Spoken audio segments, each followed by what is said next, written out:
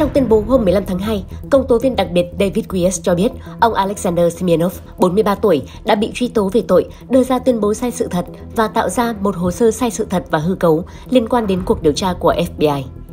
Ông Smirnov phải đối mặt với mức án tối đa là 25 năm tù nếu bị kết tội. Công ty năng lượng Ukraine Burisma Holdings và vai trò của ông Hunter Biden, con trai của Tổng thống Mỹ, đã bị xăm soi sau những cáo buộc do cựu Tổng thống Donald Trump và nhiều người khác đưa ra, cho rằng Tổng thống Biden đã tìm cách hỗ trợ việc kinh doanh của con trai ở Ukraine. Nhà Trắng đã bác bỏ những cáo buộc này. Ông Smirnov bị bắt hôm 14 tháng 2 tại sân bay quốc tế Harry Reid tại Las Vegas, bang Nevada sau khi trở về từ nước ngoài. Bản cáo trạng được công bố vào hôm 15 tháng 2 dường như đã giáng một đòn nặng vào cáo buộc của Đảng Cộng Hòa rằng Tổng thống Mỹ thu lợi từ công việc kinh doanh của con trai ông ở Ukraine. Luật sư của ông Hunter Biden tuyên bố, trong suốt nhiều tháng, chúng tôi đã cảnh báo rằng Đảng Cộng Hòa xây dựng âm mưu của họ về ông Hunter Biden và gia đình của ông ấy dựa trên những lời dối trá của những người có mục đích chính trị, chứ không phải sự thật.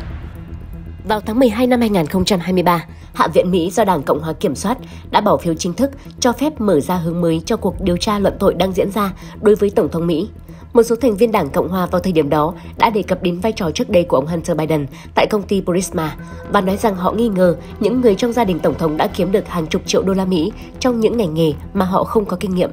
ông Hunter Biden tham gia vào hội đồng quản trị công ty năng lượng Ukraine Burisma Holdings từ năm 2014 đến năm 2019.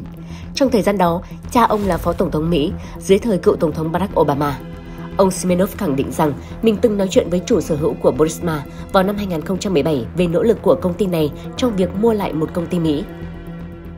Bản cáo trạng cho rằng ông Simlov đã đưa ra những tuyên bố sai sự thật khi kể lại hai cuộc họp diễn ra trong năm 2015 và 2016. Trong đó, các lãnh đạo Burisma nói với ông rằng họ đã thuê ông Hunter Biden để bảo vệ chúng tôi thông qua bố ông ấy qua khỏi đủ thứ vấn đề. Bản cáo trạng cho biết thêm rằng ông Simonov còn khai gian rằng các giám đốc điều hành của Burisma đã trả cho ông Hunter Biden và Joe Biden mỗi người 5 triệu đô la Mỹ để ông Hunter Biden sẽ giải quyết tất cả những vấn đề đó thông qua bố mình.